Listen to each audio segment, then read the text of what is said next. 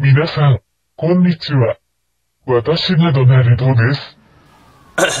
Notez ce bel accent japonais pour ouvrir cette vidéo donc de Naruto Storm 2. Une vidéo qui m'a été euh, bah, beaucoup demandée. Vous avez été nombreux à me demander de faire une vidéo dessus, donc sur ce jeu que, bah, que j'apprécie énormément.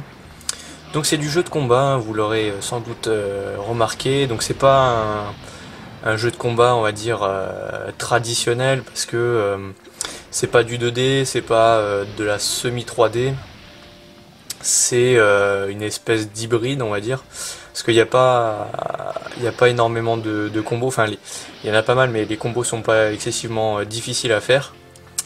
Et bah, c'est ce que ce que j'aime un peu dans ce jeu, parce que les, combos sont pas sont pas durs à sortir. Et comme vous voyez là, par exemple, c'est super fidèle à l'animé. C'est les graphismes sont vraiment excellents. Les, euh, il y a, il pas mal de persos qui sont tous super bien modélisés. Donc euh, voilà, c'est pour ça que j'ai- j'ai- j'aime bien retourner euh, souvent sur ce jeu. Et bah, puisque vous m'avez demandé de faire une vidéo dessus, j'ai voulu vous montrer un peu à quoi ressemblait le mode solo. Donc là je suis contre un combat de... c'est ce qu'il appelle un combat de boss. C'est-à-dire que je, refais un combat euh, qui, euh, qui suit vraiment euh, l'animé euh, de, de près quoi. C'est-à-dire que bon là on est, on est dans le, le combat euh, opposant Ga- Gara à Deidara. Euh, donc bon j'aime j'ai- j'aime bien ce combat parce que Gara c'est mon perso préféré dans l'animé. Et bah, j'ai voulu vous montrer ce, ce combat là parce que c'est le, le tout premier en fait, le premier combat de boss qu'on fait en, en mode, en mode solo. Et vous allez voir que dans ce jeu, ce qui est vraiment excellent en combat de, de boss justement, c'est que c'est pas que des combats euh, personnage à personnage on va dire. Parce que là bon vous voyez déjà euh, le, mec est, en, est sur un oiseau quoi, donc c'est pas mal ça. Et il va y avoir euh, d'autres séquences en fait, il y aura pas que, que du combat. C'est-à-dire qu'il y aura aussi des, phases de shoot ou des, des QTE. Enfin, ça, vous le verrez dans, pas longtemps. Parce que là, je vais pas, pas tarder à le faire tomber, là. Ouais, donc ça sera dans quelques... Enfin, voilà. Donc, euh, j'ai voulu commencer euh, à vous montrer le solo. Donc, euh, dans cette vidéo, je vous montrerai deux combats de boss, deux combats que j'apprécie énormément. Donc là, vous voyez, là, les- la séquence de QTO va, commencer.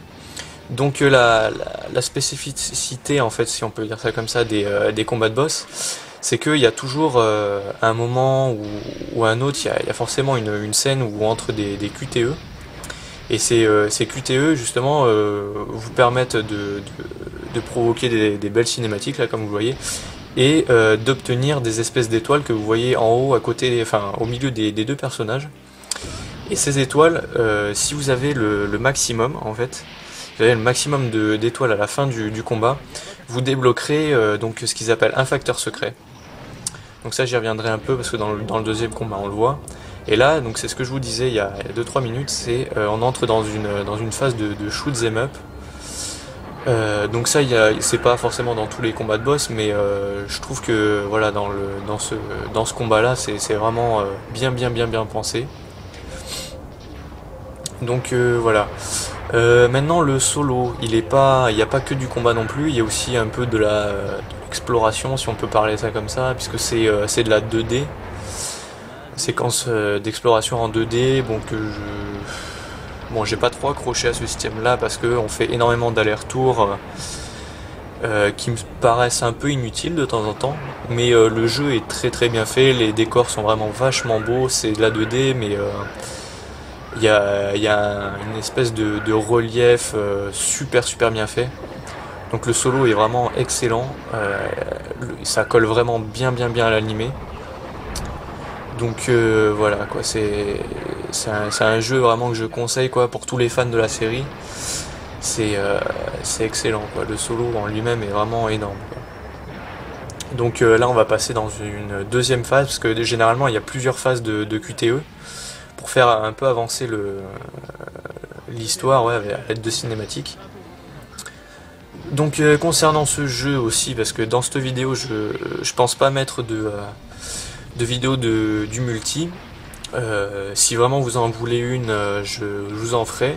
Aucun problème là-dessus, parce que j'adore jouer en ligne aussi, même si, comme dans tous les jeux de combat, tous les adversaires ne sont pas forcément super réglo, mais bon, on fait avec.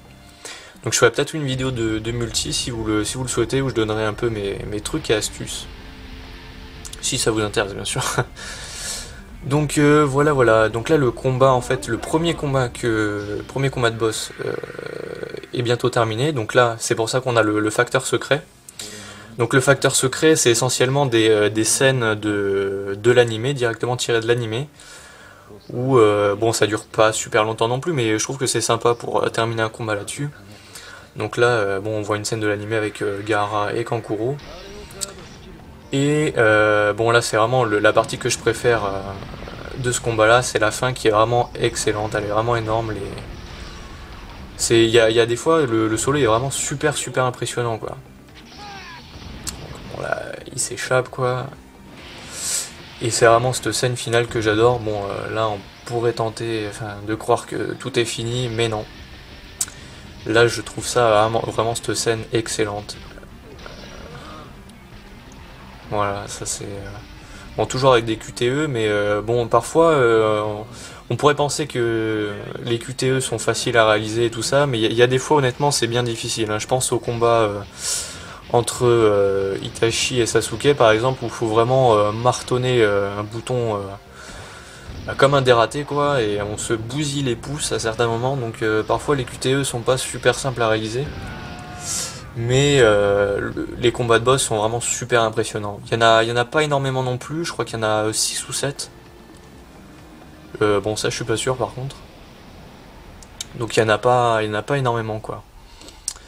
Mais euh, bon ils sont super super bien faits quoi. Donc là c'est la fin du premier combat. Ouais. Donc euh, j'avais envie de vous montrer celui-là parce que euh, bah, mon, perso préféré euh, c'est Gara. Et maintenant on va basculer sur un, sur un autre combat de boss, donc assez emblématique de la série on va dire, où c'est une, nouvelle, une nouvelle rencontre entre Naruto et Sasuke. donc que vraiment ce, combat je vraiment je l'adore parce que la, mise en scène elle, bon elle suit pas trop trop celle de l'animé mais elle est vraiment stylée là par exemple on va le voir voilà, là cette scène honnêtement elle est, euh, moi j'aime bien quoi, j'accroche. Donc là en fait on entre dans une une séance de, euh, de combat euh, comme comme il pourrait y avoir en multi quoi, en 1 contre 1 et bah, comme tous les combats de boss je le dis, il y aura une phase de, QTE où il faudra il faudra être assez réactif pour pouvoir débloquer justement un maximum d'étoiles et pouvoir débloquer le facteur secret. Euh, donc euh, les facteurs secrets, vous pouvez les revoir, euh, il me semble, hein, une fois que vous aurez fini le jeu. Et bon, je trouve ça assez, assez sympa. Donc voilà. Qu'est-ce que je peux vous dire de plus sur ce solo? Bah non, rien de plus, ouais. Enfin, le jeu, je répète, c'est... même si vous n'êtes pas non plus accro à la série, honnêtement, c'est un bon jeu de combat parce qu'il est, il est simple, très très simple à prendre en main. Et euh, si vous jouez avec des potes, honnêtement, euh, bah, vous allez bien vous marrer. Moi, je joue souvent avec des, euh, avec des collègues, hein, notamment avec Pingouin. Dédicace à toi. et on, se marre, on se bien. Le, truc est assez fidèle, je dois dire. Les, les, bon, là, je fais, je fais le, solo, je ferai sûrement du multi, je pense, parce que j'adore j'adore jouer en multi. Mais comme vous voyez, le, solo il reste quand même assez dynamique, euh, c'est beau. Voilà, là par exemple, on a, on a des, flashbacks. Euh, donc j'ai pris aussi ce combat parce que celui-là il sort aussi un peu de l'ordinaire. Puisqu'on va aussi avoir des, euh, séquences de gameplay du, tout premier, donc du Naruto Store 1, 1 qui lui était sorti uniquement sur PS3. Donc je rappelle, moi je joue sur 360 et c'est vraiment un plaisir de pouvoir jouer un Naruto Storm parce que c'est euh, c'est vraiment excellent quoi. Autant au niveau des déplacements et tout, c'est euh, simple mais mais en même temps ça, ça colle euh, ça colle bien à l'animé quoi. On arrive à faire des beaux combos, c'est assez intuitif, tu vois. Voilà. Là par exemple, on, ça c'était une, une, phase de gameplay qu'il y avait dans le dans le Storm 1 donc qui devait être sûrement à la fin du jeu puisque je l'ai pas fait, je répète. Mais qui est assez sympa parce que ça se ça, ça, se recoupe avec euh, donc le voilà on repasse en fait en dans le combat du du Storm 2. Et ça, ça va le faire 2-3 fois. Donc il y aura aussi le, le facteur secret au bout d'un moment. Ce qui fait qu'on revient pas mal de fois au, au Storm 1 en fait. Donc là, je me prends une petite chope, hein, ça fait toujours plaisir. Donc voilà, voilà. Euh, je profiterai aussi de, cette euh, vidéo pour, euh, bah, pour mettre dans, la, dans la description de, celle-là le, le, lien d'une autre vidéo. parce que bon, Naruto, bah, je pense que vous le savez tous, hein, c'est made in Japan. Hein. Et euh, donc euh, on est, on est pas mal de, gens à suivre ce qui se passe au Japon parce que c'est vrai que c'est assez triste ce qui leur arrive là-bas.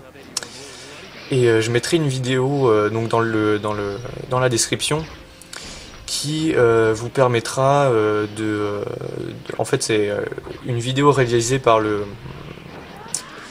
par le créateur de Dragon Ball, donc Akira Toriyama. Euh, donc dans cette vidéo, en fait, euh, bon c'est une, vidéo très courte, hein, ça vous prendra pas euh, non plus des heures à la regarder. Mais chaque fois que, vous irez sur cette vidéo, YouTube reversera l'argent gagné grâce aux, pubs présentes sur cette page à la Croix-Rouge japonaise. donc qui pourra aider, je pense, pas mal de personnes.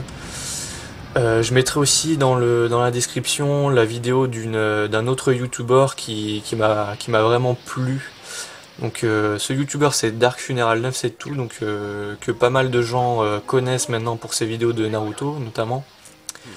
Donc je mettrai une, une de ces vidéos où justement il montre comment on peut aider le Japon de manière très très simple. Hein. et bon cette, cette, vidéo elle sera aussi disponible dans mes, dans mes favoris. Euh, parce que bah, je suis un gros fan de manga et euh, c'est vrai que c'est vraiment pas cool ce qui leur arrive en ce moment. Donc euh, bah, je mettrai ces, deux vidéos dans, la description, donc vraiment allez les voir, ça vous prendra vraiment quelques, minutes quoi. Et ça, pourra, ça pourra aider beaucoup de personnes je pense et ça, restera pour vous totalement gratuit parce que je le répète, YouTube a mis en place un système de publicité euh, grâce auquel elle se fera un peu d'argent et cet argent ira directement euh, en aide au Japon.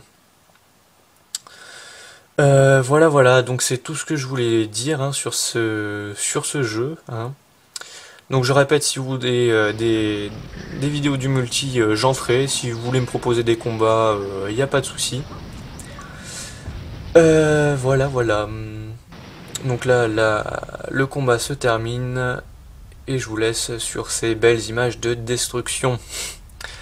Et je vous dis à plus.